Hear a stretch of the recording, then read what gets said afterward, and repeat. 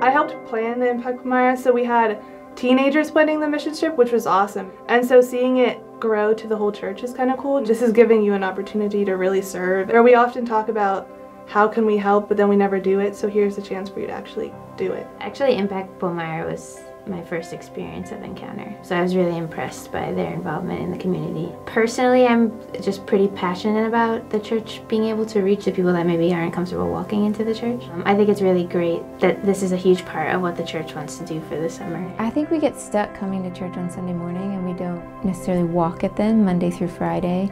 I think seeing the need in our community and then seeing the impact that we can have just in one week's time could really be encouraging. For young families, like I'm thinking of my, you know, of my four-year-old, it starts the conversation with her, that conversation, you know, that you can have now with your family and, and they can take it to school. And so, yeah, I mean, it could, it could really grow. I think the serving opportunities usually end up impacting the person that's doing the serving more than those who are being served. We send kids, we send families away for missions trips so they get to come home to their safe home. And now they're seeing it just down the street, that it, it, it will change your perspective. We can really help our community. I think it's one that desperately needs it, and I think we tend to hide an eye from it, so I really wanted to embrace the impact. Uh, you know, they always say that it tends to be a two-sided learning experience. I hope that we impact Palmyra, but yet we're inspired by Palmyra it becomes a full cycle, a relationship between the community, and that we see years from now that it will continue to grow. I see it somewhat as a bodybuilder for our church. You know, there's a lot of times we come to church on a Sunday morning, and I, I see people, I see them on a regular basis, but I don't know who they really are.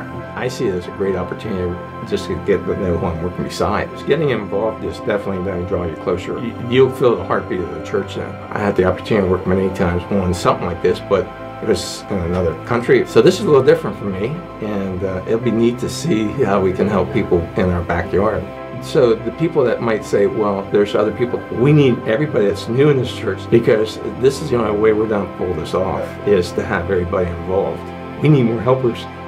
Whenever we did Impact Palmyra, um, I met a really cool lady and she was just amazing in my life and taught me a lot about what it takes to be a Christian and how you can really be faithful. Where like we were there helping her with work sites, but really she was teaching us. For some people, the biggest challenge might be giving up their time. It might be not doing a soccer camp and instead doing this or not taking the second week's vacation to go to the beach but doing this. So Partnering with people and letting them know that we care about them, I think that's the heart of the gospel. Helping people to know Jesus, that he is loving and that he cares for them.